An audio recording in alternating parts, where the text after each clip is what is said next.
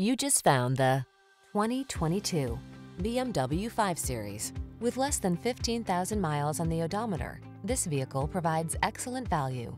This vehicle delivers the style, comfort, and efficiency you need to meet the needs of today's lifestyle.